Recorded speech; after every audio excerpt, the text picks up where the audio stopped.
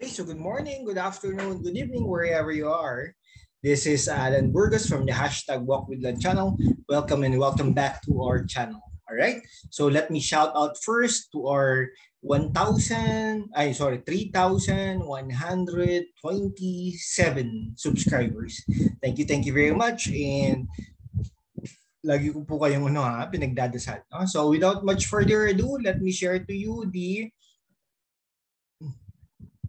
Okay, the 24 the top 12 senatoriables, no? Actually, ano to eh, no? pero ano lang natin ha, ano na lang natin kasi yung iba talagang malayo na naman talaga. No? 12 lang naman yung kukunin na senatoriables.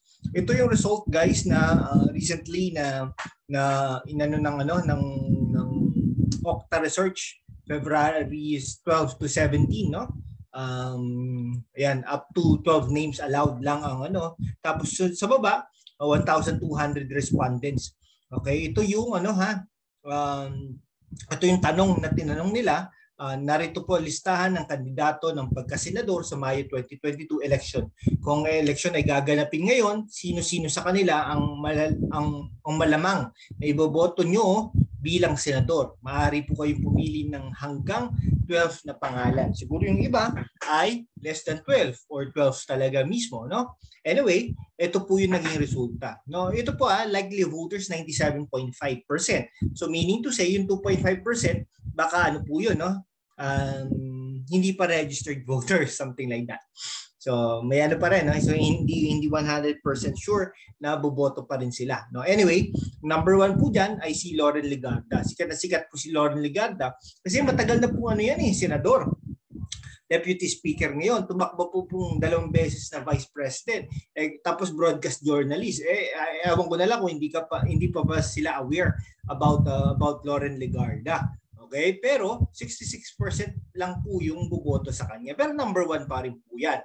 Okay? Ang pangalawa po ay si Idol Rafi Tulfo. Swerte nga si Rafi Tulfo, hindi nga po masyado nangangampanya but because of his popularity ay talaga naman pong ano, ah, number two po siya.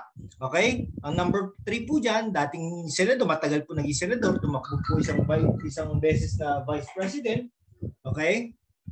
Tapos, uh, sino po Okay.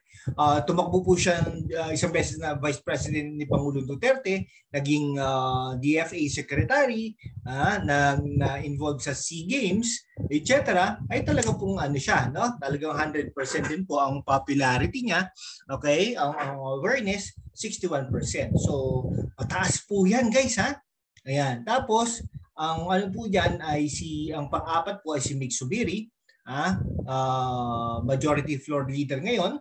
Okay, Chis Escudero, dating senador, ngayon ay governor. Mark Villar, dating DPWH secretary. Okay? At tingin ko Mark Villar tataas pa yan eh, no? Talagang kumakampanya kampanya lang talaga siya, no? Robin Padilla, next po dyan, mataas po si Robin Padilla, number 7 to 11, dahil po siguro magic ni Duterte yan, no? yung dalawang Duterte, plus kay Bong Revilla, ay Bong, kay, kay uh, Bongbong Marcos. No? Si Wing Gatchalian po, no? talagang mataas din po yan, taga Valenzuela po yan. Si Jojo Binay po, ito po nakagulat, hindi na nga po masyadong lumalabas, but because of his popularity. No? Pero tingin ko, ah, yung ano yan, mula dyan sa 7 na yan, no? hanggang pababayan ay medyo talagang labo-labo sila. No? Si Robin Padilla pwedeng umakyat pa yan. No? Si Jojo Binay, yan, Hontiveros, may pag-asa pa pumatalo yan, si Risa Hontiveros. Ha? Talagang si Jingo Estrada at saka si JV Ejercito, may pagkasa pa pong ano yan, no? umakyat. Kaya lang tingin ko po, isa lang po mananalo dyan kay Jingo Estrada at saka kay JV Ejercito Estrada. Okay? So, to si Villanueva naman po, 9 to 15, medyo ano ha, alanganin. Herbert Bautista, 12 to 6, alanganin na alanganin. So talagang mga ngampanya ng mga ngampanya to si Herbert Bistek Bautista. Gringo Honasan, the same thing with Gringo Honasan.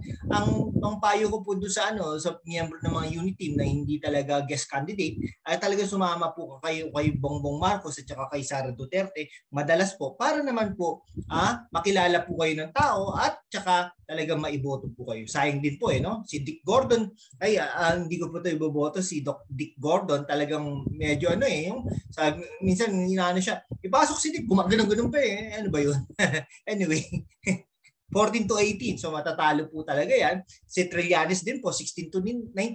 O hindi po talaga i-epekto kahit yung mga Batman niya, no? Uh, anyway, uh, mabait naman, ang galing naman si Trillanes. Kaya lang talagang siguro hindi pa napapanahon ngayon. Ang number ang, ang number last po dito ay si ano, Eliazar, ah, pero talagang alanganin na rin po yan. No? So, kaya tingin ko yung tatlong yan, Gordon, Trillanes, Eliazar, medyo alanganin na po yan. Okay? Yan po. Alright? Sige, hanggang dito na lang po mga kaibigan ko ha. Maraming maraming salamat. Sandali-sandali lang tayo dahil uh, in, in, uh, in a couple of minutes, magkaklase na po tayo. Thank you very much. Bye-bye po. Ingat po kayo lagi.